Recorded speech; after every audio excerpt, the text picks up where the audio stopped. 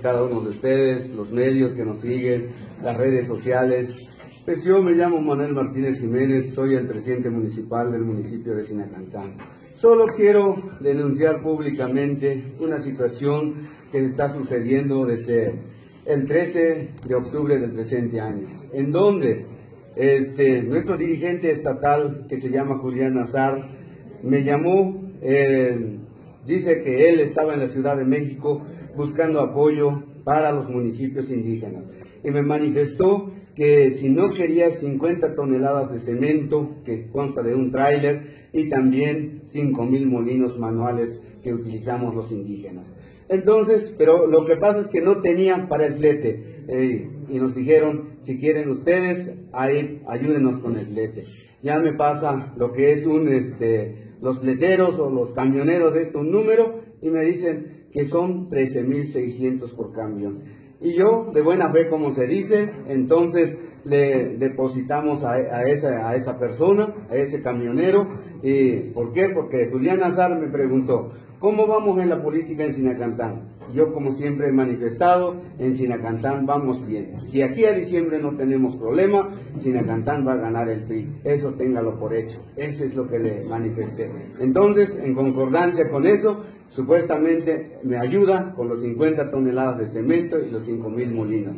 Y además le dije todavía de que esos cementos se va a destinar para las calles que usted viene todavía a inaugurar. Yo pongo lo que es arena y grava y usted pone el cemento y yo pongo la mano de obra. Ese es lo que, ese es el comentario. Resulta ser que pasan los días, el sábado me llama el pletero, este, que se llama Raúl Estrada, así se hacen llamar. Entonces me llaman y me dicen que ya están en San Cristóbal, que llegan entre las 10 a 11 de la mañana el día este domingo. Entonces resulta ser que no llegó nada. Y ya el lunes me comunico con el señor presidente del Comité Directivo Estatal, Julián Azar, que es la misma voz, que es el mismo número con el que me llamó el día viernes. Entonces le pregunto qué pasó con los trailers.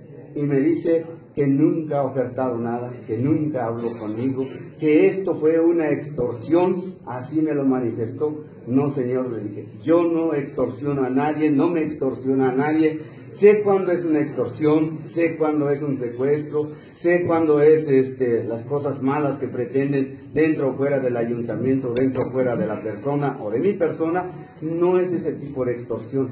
Hablamos directo a un funcionario público municipal, a un dirigente estatal. Entonces, eso fue usted. Y rotundamente negó que ya él no había sido nada, ni que no tiene que ver, que él no oferta cemento, que no oferta molinos para los pueblos indígenas. Entonces, pues esa es la denuncia para que no caigan los compañeros indígenas este, con este señor que se hace llamar nuestro presidente del partido, que sí es cierto, reconozco si es el presidente del partido de nuestro estado de Chiapas, pero como priista y como militante, como le digo, le exhorto a los priistas también a que, se, a que conduzcamos a nuestro partido con civilidad y con respeto hacia la población. No tratemos nada más de buscar nuestro interés personal a través de los damnificados de hoy en día. Entonces, ese es el llamado que hago y ya este, le dije anteriormente ayer, le dije y le manifesté por medio de WhatsApp. Señor presidente, mañana reúno lo que son los medios de comunicación para decirle, para que ya no caigan en estafa a los otros compañeros indígenas. Ese es lo que le manifesté. Y hoy ya me contesta en el mismo medio que aquí la tengo, la puedo probar, y me dice, no, eso si vas a hacer, te voy a denunciar, te voy a demandar. Aquí estamos puestos. Lo que quiera don Julián Azar, cuestiones legales, cuestiones políticas, cuestiones sociales, aquí estamos. Él ha sido un político del estado de Chiapas, nosotros también ahí vamos aprendiendo, no le tememos ni a las leyes, no le tememos ni al conflicto social, no le tememos, como siempre me han amenazado, que vengan las auditorías al municipio de Sinacantán. A mí me gustan las auditorías, ¿por qué? Porque quiero saber que mis trabajadores están trabajando de acuerdo a la norma. Eso podría ser, pero es el estilo, como dicen aquellos, del viejo priismo de las amenazas. Aquí no hay que amenazar a nadie. ¿Por qué? Porque eso es lo que está haciendo el dirigente estatal del Partido Revolucionario Institucional. Entonces, señores, esa es la situación que vivimos en Sinacantán. Si no fuera cierto lo que estoy manifestando yo aquí personalmente, entonces nuestro presidente estatal del PRI hubiera dicho, eh, vamos a investigar juntos, pero él ya saca su desplegado antes de esta declaración. Entonces, quiere decir que le teme algo que esconde el Señor. Pues yo siempre he llegado a sus reuniones y tampoco nunca cumple sus reuniones. Dice maravillas, pero nada más es hablar por hablar. Aquí exhorto a los priistas que nos unamos todos. No solo es esta situación, documentos tenemos, en lo que es la región de los Altos, eh, han hecho este, reuniones los, compañeros priistas en donde Julián Nazar dice que quiere imponer a los comités directivos municipales a su gusto. Aquí en los pueblos indígenas no es el comité directivo quien hace eh, los comités directivos municipales, es el pueblo, es la comunidad y es a través de un plebiscito, en todas. Entonces, pues aquí, más que se cuiden los candidatos que vayan a venir. Yo ya estuve, yo ya me voy, pero de todas maneras, nunca me voy del PRI. Aquí estamos para defenderlo y estos que quieren juguetear al partido nada más a sus intereses, pues que lo hagan. Entonces, esa es la situación, señores.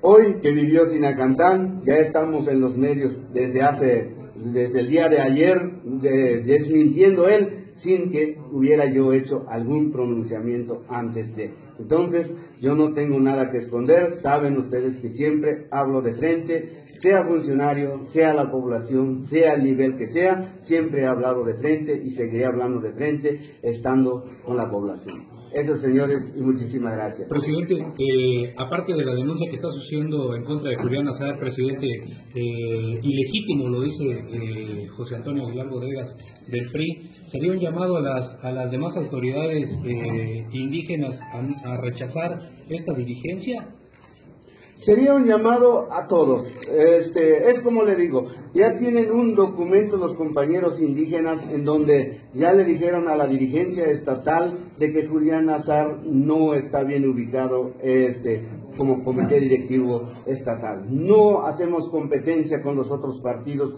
hoy en día. ¿Por qué? Porque él está, está queriendo imponer este, a sus allegados. Entonces, quizás sea ilegítimo o legítimo o como sea, eh, las normas jurídicas, el nombramiento que le haya dado nuestro Comité Directivo Nacional. Entonces, aquí va un llamado principalmente al Comité Directivo Nacional de que vea cheque realmente qué es lo que está pasando en Chiapas y con este señor que lo puso. Aquí lo puso, le, le decimos, porque no fue a conciencia. Quizás hubieron otros aspirantes si hubiese salido una convocatoria. Aquí fue una convocatoria supuestamente abierta y a la mera hora ya fue una convocatoria cerrada. ¿Por qué? Porque va este señor.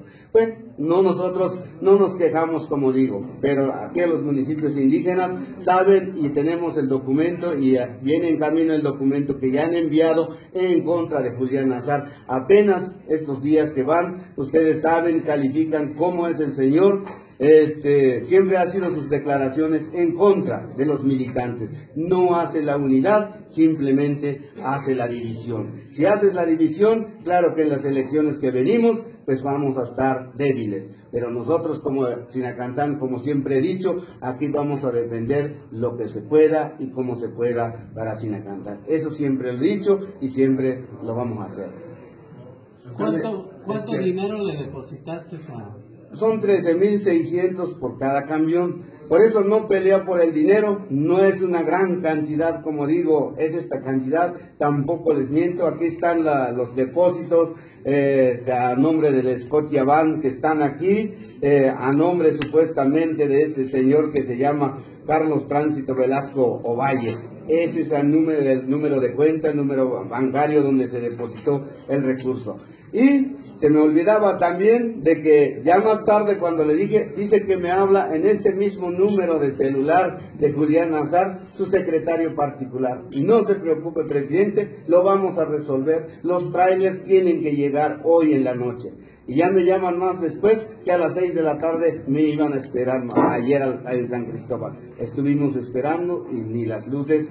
Ya los celulares de los, de los otros compañeros, el secretario particular, esto de los que cobraron el banco, ya mandan todos al buzón. Ya le habrán cambiado lo que tengan que cambiar. Pero esa es la situación. Señor, ¿este es un fraude?